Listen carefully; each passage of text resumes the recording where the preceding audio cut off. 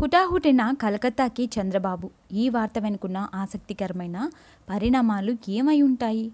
అంత హుటాహుటిన బాబు కలకత్తాకి ఎందుకు వెళ్ళారు?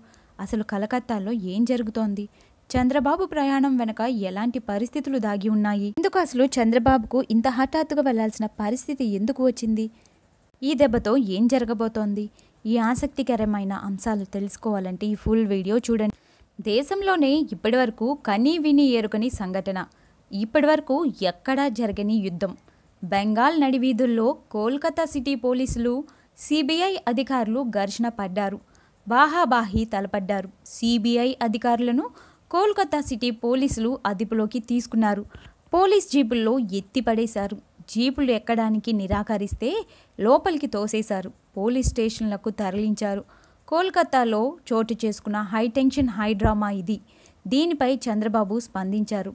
రాష్ట్రాల్లోని రాజకీయ ప్రత్యర్థులపై దాడులు చేయిస్తూ ప్రధాని నరేంద్ర మోదీ భాజపా అధ్యక్షుడు అమిత్ షాల ద్వయం రాజ్యాంగబద్ధ వ్యవస్థలను ధ్వంసం చేస్తోందని ఏపీ ముఖ్యమంత్రి చంద్రబాబు విమర్శించారు. కోల్కతా ఘటనే దీనికి తాజా నిర్దిష్టమని దీన్ని తీవ్రంగా ఖండిస్తున్నామని వ్యాఖ్యానించారు. మరికొన్ని రోజుల్లో పార్లమెంట్ ఎన్నికలు జరగాల్సి ఉన్న నేపథ్యంలో ఇలా చేస్తుండటం దేశంలో విపరీత పరిమాణాలకి దారితీస్తుందని ఈ మేరకు ఆయన ట్వీట్లో స్పందించారు.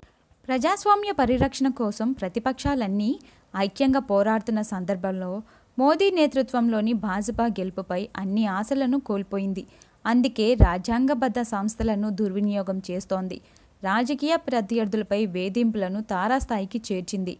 రాజ్యాంగాన్ని దాని స్ఫూర్తిని దేశంలో సమైక్య వ్యవస్థను కాపాడేందుకు పశ్చిమ బెంగాల్ ముఖ్యమంత్రి వెన్నంటే మేముంటామని ట్విట్టర్లో వ్యాఖ్యానించారు. అంతకుముందు కోల్కతాలో సిబిఐ అధికారులు అక్కడి పోలీసులకు మధ్య నెలకొన్న వివాద ఘటనపై పశ్చిమ బెంగాల్ ముఖ్యమంత్రి మమతా బెనర్జీకి చంద్రబాబు ఫోన్ చేసి వివరాలు అడిగి తెలుసుకున్నారు.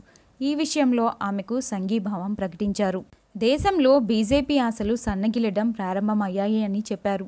కేంద్ర సంస్థలతో రాష్ట్రాలను భయపెట్టేందుకు ప్రయత్నాలు చేస్తున్నారని తెలిపారు.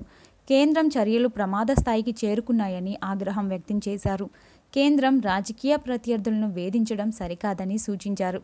లోక్సభ ఎన్నికలు జరుగుతున్న తరుణంలో దేశంలో ఇలాంటి పరిస్థితులు అశాంతి సృష్టిస్తాయని వెల్లడించారు.